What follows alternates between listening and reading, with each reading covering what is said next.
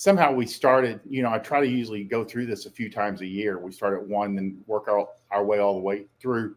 There are around 200. Some of them are repeated, some of them are repeated throughout. And then we have like, you know, maximum number three, next maximum number 3A, maximum number 3B. Uh, Roissy did the best he could keeping track of this stuff. He, he, he wrote this thing for seven years. So it makes sense that he would get confused or repeat things. Um, maxim number one game is learned charisma, streamlined seduction. Game is as sincere as its practitioner's intent. And if you want to drill it down to its most simple, you know, when people ask me, you know, what what is game? I always say game is learn charisma. And it really catches people off guard because they think it's a manipulative tactic, it's pickup, or it's some kind of weird like neurolinguistic programming, all these kind of strange manipulative methods when actually it's really about learning how to become more charming. And girls like to be around charming men. It's really an a plus b equals c formula. And it's hard to fool people. It's hard to fake. Um, as far as like is it genuine streamlined seduction we take the mystery out of romance or moving girls to sex we really do break that down to a formula that works and you can plug girls into it and repeat it. And I think that's kind of the scary or the unbelievable part for a lot of men. No, no, you can't plug all the women. You have yes girls, maybe girls, and no girls. But in general, that's the part that I think really throws people is that you can learn a system and a formula to to take a girl from complete stranger to knowing you very well, to trust you with her body, you know, in the most intimate circumstances, to improving your marriage. You know, that's what uh, dread is, is where you apply game to your marriage. Um, but it is streamlined seduction. We drill it down to its most essential parts and make it black and white. And game is as sincere as its practitioner's intent. And this is a thing that also I think upsets people. They they think that there's a negative intent, and it really comes down to do you use it for good or do you use it for evil? I mean, are you, you know, and those definitions are completely up to you. Like for some people, you know, it's straight to marriage with one person, um, or everything else is kind of wrong. And then there's, you know, you run a rotation where you don't commit to any one person because it's not within you, you know, at that moment. And then over time, you will end up with an exclusive relationship, maybe, um, or move to marriage. And the thing that I try to convey to people is with with knowing game, you know, life is long. So you may apply it to getting a girlfriend.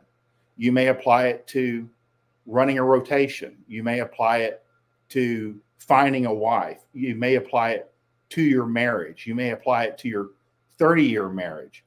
It, and this may be all one person because things are going to change. You'll be single for a while, then you might have a couple of girlfriends in succession. Then you might just say, you know what, I need to not date anybody exclusively, but I still want to like, you know, I like being around women. So you're dating three or four girls for a year or two, and then one really stands out, and then you guys get more serious. Then you're exclusive. Then you may decide to get married. You're married for 10 years, then you're divorced.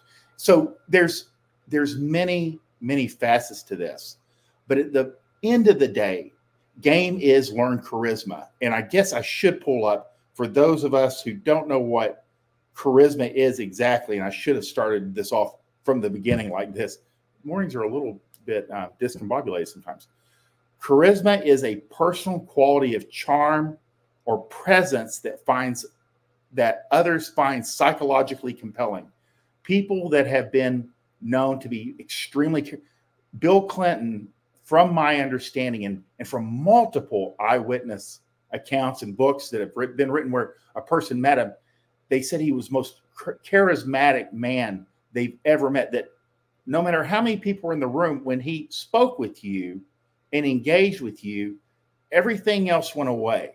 It was like focused you that this president of the United States and leader of, you know, the free world gave his total attention to you and you felt locked in.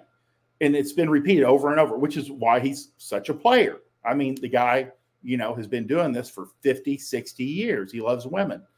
Um, Elvis Presley, again, charismatic. Again, probably not as promoted as, you know, if you watch any documentary, and I just kind of stumbled on this because I'm not, you know, um, a huge music follower, but you know, I, I key in on the the big personalities. And it was a documentary, and it had it was about Elvis Presley, and it was like where somebody had a Super 8 camera and they're basically filming him through his day. And I think he was in Vegas at that time doing his his daily show. Um, and they're they're moving, and he's always got three or four guys with him, the the Memphis Mafia. But all they talked about was the women that were in the audience and the girl that he was with the night before. And hey, did you see that brunette on in aisle five last night? You know, basically a player at all times and very charismatic. And basically, you know, fame and fortune are the two biggest game factors that you don't you don't really even need game. You just the fame and the, the fortune just draws them in. Um, but those are an example of very Donald Trump again, another charismatic man. Um, he tends to draw people in, and they they're locked in. So that's what you see with charisma. And game is learn charisma. You can learn how to be charismatic. And again, and the interesting thing with learning charisma, um, there's a lot of things that you might not have. You might not have money. You might not have um, a, a, harem of women behind you. Might, none of these things matter because you can, when you're learning game, you can fake it till you make it. And that's one of the things that I really like is that guys from the very beginning can kick in like one or two game techniques like less is more, like the way they change the way they're texting or they change the way they're communicating with women, you know, remotely. And it will change almost instantaneously. In in that one conversation, like when we talk about less is more, you know, you speak slower, you use fewer words, you let her talk more, um, no emojis, no punctuation. And when guys actually apply this, they get instantaneous results. It's like, yeah, they, the girls started reacting completely differently. They're much more compliant. They're much more engaged. So there's things that you can do today and apply into your game that make you appear more charismatic. And what we say perception is reality. Um, if you're interested in in game, and let's walk into it here. Maxim number one: game is learn charisma, streamline seduction game is as sincere as its practitioner's intent. It's as good as you want it to be. You know, you can use it for good or or questionable or bad. It's completely up to you. Um, but it is a learnable process. It can be faked till you make it. You can fake it till you make it.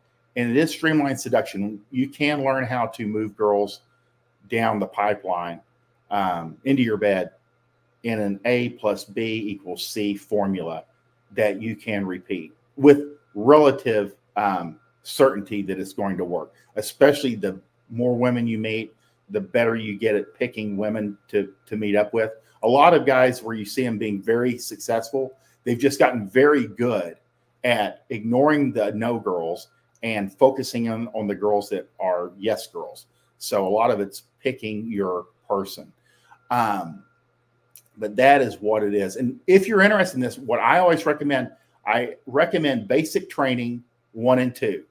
It's about game and the techniques of game and applying game in common language because you know in game we have a lot of our own language um, that you have to kind of stop and look it up and go, what the hell does that mean?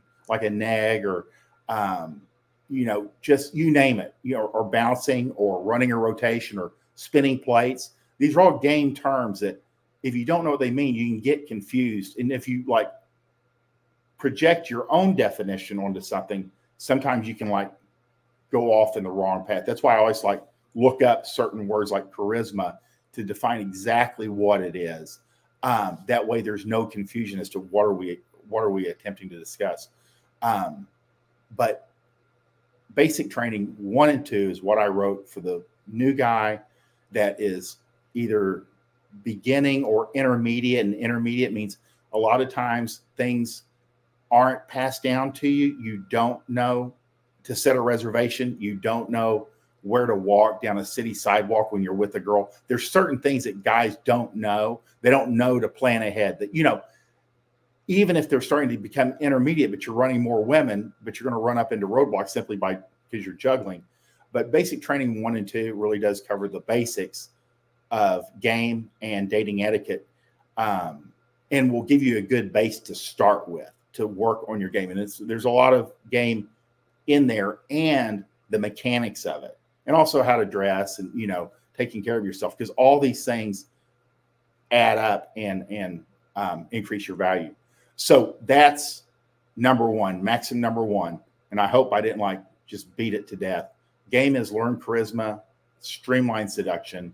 Game is as sincere as its practitioner's intent. Let's see what else we got.